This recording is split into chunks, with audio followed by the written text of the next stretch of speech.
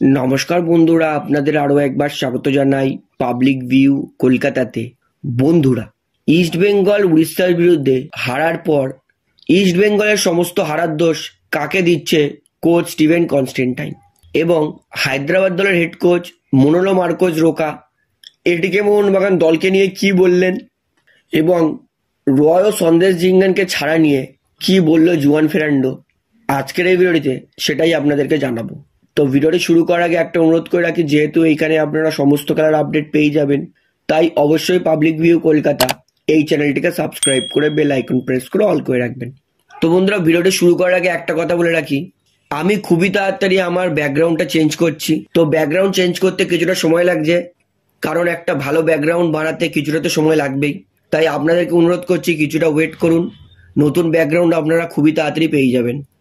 তাহলে বন্ধুরা, উড়িষ্যার বিরুদ্ধে দুই গোলে জেতার পরেও সেকেন্ড হাফে চার গোল খেয়ে চার দুয়ে হেরেছে ইস্ট বেঙ্গল এফসি তো ইস্ট বেঙ্গল হারার সমস্ত দোষ কিন্তু কোচ স্টিভেন কনস্টেন্টাইন খেলোয়াড়দেরকে দিচ্ছেন।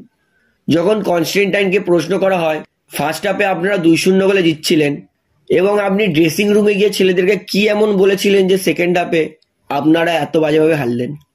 কনস্টেন্টাইন তিনি উত্তরে বলেন, আমি তো ছেলেদেরকে বলেছিলাম যে ভাবো ম্যাচটা শূন্য শূন্য আছে আমাদেরকে আরও একটা গোল করতে হবে।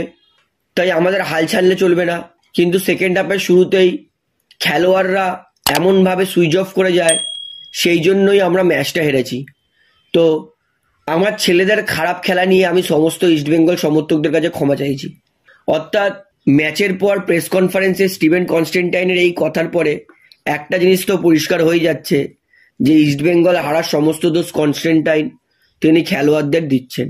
তো এটা তো আমি অবশ্যই মানবো যে খেলোয়াড়দের দোষ ছিল। কিন্তু কনস্টেন্টাইন নিজেকেও কিছুটা দোষী করতে পারতেন, কারণ তিনি যখন দেখছেন সেকেন্ড হাফে ওরা আক্রমণে আরও জোর বাড়াচ্ছে, পেদ্রোকে নামালো রাইট উইংয়ে জেরিকে নামালো, তখন ডিফেন্সে আরও একটু জোর দিতে পারত কনস্টেন্টাইন। তাছাড়াও তাছাড়াও কনস্টেন্টাইনের পেদ্রো, জেরির জন্য কোনো রকম পরিকল্পনা ছিল না। তো শুধু খেলোয়াড়দের দোষ না দিয়ে কনস্টেন্টাইন কিছুটা দোষ কিন্তু নিজেকেও দিতে পারতেন, যেটা আমার পার্সোনাল ওপিনিয়ন তো যাই হোক, কনস্টেন্টাইন খেলার হারার দোষ কাকে দিয়েছেন সেটা আমি আপনাদেরকে জানিয়ে দিলাম। তো বন্ধুরা, এইবারে শুনুন। হায়দ্রাবাদ দলের হেড কোচ মোনোলো মার্কোয়েস তিনি এটিকে মোহনবাগান দল নিয়ে কি বললেন? তো হায়দ্রাবাদ তারা খেলতে নামবে কেরালার বিরুদ্ধে। তো সেই ম্যাচের আগে যখন মোনোলো মার্কোয়েসকে প্রশ্ন করা হয় আপনারা এখনও এক নম্বরে আছেন, কিন্তু আপনাদের একদম পয়েন্ট টেবিলের গা ঘেঁষে চলে এসেছে, মুম্বাই সিটি এফসি ও এটিকে মোহনবাগান। তো সেই নিয়ে আপনি কি বলবেন? মোনোলো মার্কোয়েস তিনি বলেন, যে অন্যান্য দলগুলি দীর্ঘমেয়াদে মুম্বাই সিটি বা এটিকে মোহনবাগানের সাথে প্রতিদ্বন্দ্বিতা করতে পারবে না। মানুষকে বুঝতে হবে যে অন্য দলগুলি আমরা দীর্ঘমেয়াদী বা মুম্বাই সিটির সাথে প্রতিদ্বন্দ্বিতা করতে পারি না। একটি একক খেলায় আমাদের প্রতিটি দলকে হারাতে পারি। আমাদের একটি ভালো দল রয়েছে।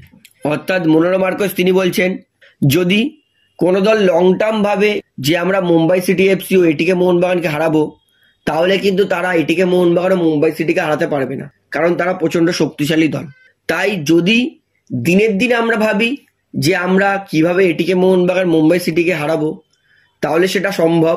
মনোরম তিনি মনে করছেন, হায়দ্রাবাদ একটা ভালো দল। তো এটাই তিনি এটিকে মোহনবাগান দল ও মুম্বাই সিটিকে নিয়ে প্রশংসা করেছেন। তো বন্ধুরা, এইবারে শুনুন।